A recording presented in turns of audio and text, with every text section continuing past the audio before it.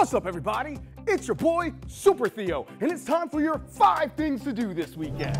First up, the American Cancer Society's Making Strides Walk of South Alabama will take place Saturday morning at 8 a.m. at Cooper Riverside Park in downtown Mobile. And there's still time to sign up or donate so you can participate in helping the American Cancer Society's fight to eradicate this terrible disease. Next up, bring your chairs, bring your coolers, and all the good vibes down to the Fairhope Music Fest. That's going to be Friday at the Halstead Theater, and then again Saturday and Sunday at Weeks Bay Plantation. Jam out to bands like the Flow Tribe, Red Clay Strays, Soul Rebels, George Porter Jr., and more. For show information and lineup information, go to fairhopemusicfestival.com.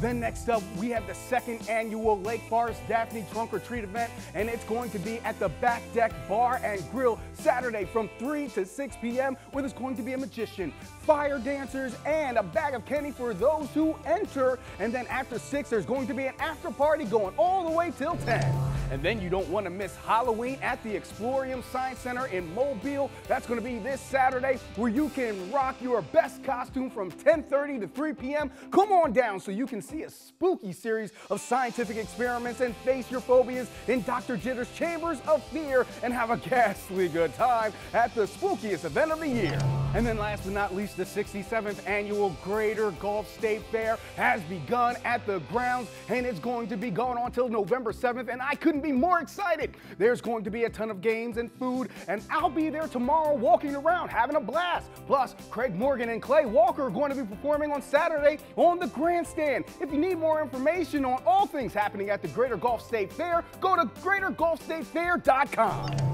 I'm Super Theo, and that's your five things to do this weekend. Hope to see you.